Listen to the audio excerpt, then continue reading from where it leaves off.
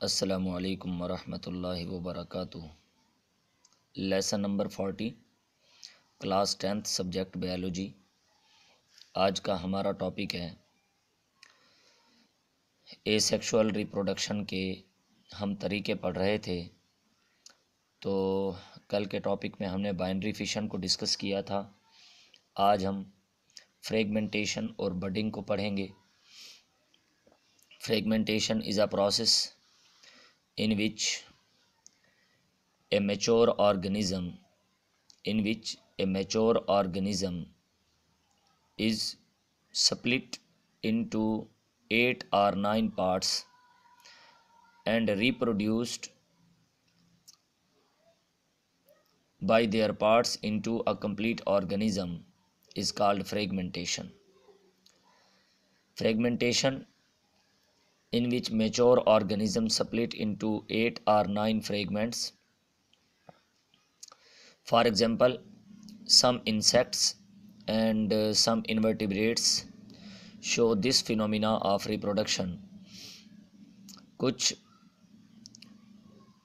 Insects कुछ हशरात और कुछ इन्वर्टिब्रेट्स के अंदर इस अमल का मुजाहरा देखा गया इस अमल को देखा गया planaria also reproduce by it ये जो प्लेनेरिया एक ऑर्गेनिज़म है, अगर ये एक से दो में तकसीम हो तो फिर इसे बोलते हैं बाइंड्री फिशन कि ये बाइंड्री फिशन के ज़रिए रिप्रोड्यूस हुआ। अगर ये प्लेनेरिया आठ या नौ टुकड़ों में तकसीम हो जाए और फिर हर टुकड़े से एक नया जानदार डेवलप हो जाए ग्रोथ कर जाए तो फिर हम उस अमल को कहेंगे फ्रेगमेंटेशन फ्रेगमेंटेशन एक ऐसा अमल है जिसमें चंद कीड़े मकोड़े जब अपने मुकम्मल साइज़ को पहुँच जाते हैं तो फिर वो ख़ुद ब खुद आठ या नौ टुकड़ों में तकसीम हो जाते हैं और इस अमल को फ्रेगमेंटेशन कहते हैं। और ये अमल प्लेनेरिया में भी देखा गया है कि प्लेनेरिया भी रिप्रोडक्शन जो ए सेक्सुअल रिप्रोडक्शन होती है, जो उसकी ग्रोथ होती है, जो वो अपनी तादाद बढ़ाता है, जो अपने आप को जनरेट करता है, वो फ्रेगमेंटेशन के ज़रिए करता है। उसके बाद budding budding is a simple asexual method in which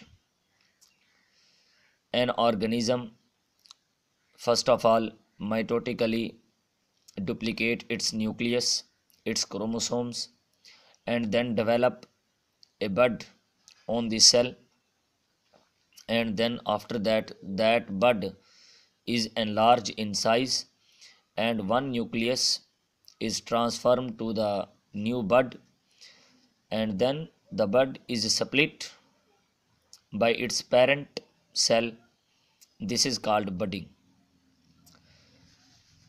budding भी एसेक्सुअल रिप्रोडक्शन का एक सादा और आम तरीका है बडिंग भी ए सेक्शुअल रिप्रोडक्शन का एक सादा और आम तरीका है, जिसमें एक सेल तकसीम होने से पहले अपने न्यूक्लियस को डुप्लिकेट करता है, अपने न्यूक्लियस को डबल करता है और फिर उसके बाद उस सेल पर एक बड डेवलप होती है, एक बड नमू पाती है। तो उसमें से जो एक न्यूक्लियस होता है वो एक बड में चला जाता है। इस तरह विरासती खसूसियात इस पेरेंट सेल से उस बड में भी चली जाती हैं। इस तरह जब वो बड डेवलप होती है, एनलार्ज होती है इंक्रीज़ इन साइज़ होती है तो फिर वो ख़ुद ब खुद यहाँ से सेल मेम्ब्रेन इसको स्प्लिट कर देती है, तोड़ देती है। इस तरह एक सेल से दो बड आबाई सेल्स पैदा होते हैं, जिन्हें हम डाटर सेल कहते हैं बाद में। तो इस तरह रिप्रोडक्शन होती है बडिंग के ज़रिए। बाज़ात या कभी कभार सम टाइम ऐसा भी होता है कि एक सेल जब एक बड बनाता है तो वो बड अपनी जगह से सप्लिट नहीं होती, बल्कि अभी पहली बड मौजूद होती है कि दूसरी बड वहाँ पर डेवलप हो जाती है और फिर यही न्यूक्लियस दोबारा डुप्लिकेट करता है और फिर एक न्यूक्लियस को इधर भेज देता है। एक न्यूक्लियस इधर ट्रांसफ़र हो जाता है। इस तरह दो बर्ड के अंदर अलग अलग न्यूक्लियस हो गए। इन दी सेम वे, पहले फ़र्ज़ करें ये बर्ड बनी, फिर उसके बाद ये बनी, फिर उसके बाद ये बनी। अब इस बर्ड के अंदर न्यूक्लियस कहाँ से आया? यही न्यूक्लियस फिर डुप्लीकेट करेगा। इसमें से फिर एक न्यूक्लियस इधर आ जाएगा। फिर यही न्यूक्लियस डुप्लीकेट करेगा। इधर से फिर एक न्यूक्लियस इधर आ जाएगा।